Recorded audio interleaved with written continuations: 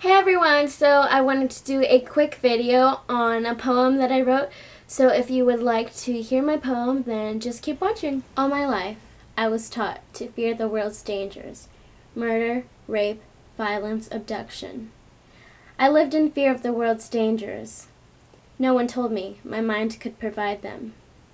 I was told to stay away from strangers, but they never taught me about the day I'd become one to myself. They told me about peer pressure, but never about the temptation I carried. They said drugs could kill you, but they forgot to mention that if you swam too far into sadness, you could drown. I was given an address for the times I got lost, but when I was misguided into the wrong, no one told me I had the option to follow my heart. All my life, I was taught to fear the world's dangers, but no one told me about the day I'd fear myself. So I hope you guys enjoyed that quick little poem. It was inspired by life, and I know that sometimes things may be a little nebulous, but you know what? Things happen, and sometimes you get lost in life with the world and with yourself, and no one really teaches you how to deal with losing yourself. It's something you just have to figure out on your own.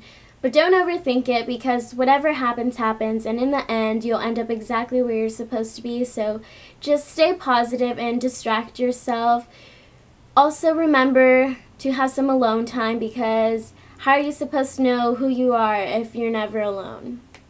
So, I just want to say that remember that there are people who care. It's all about you telling them you want to be heard because sometimes the happiest people tend to be the saddest. And yeah, so I hope you guys enjoyed this video. And thank you to my new subscribers and my old subscribers as well. I hope you guys continue to watch my videos because that would be pretty cool. So just remember, you aren't alone and stay positive. So comment, rate, subscribe, and I will love you forever, and I will see you in my next video. Bye!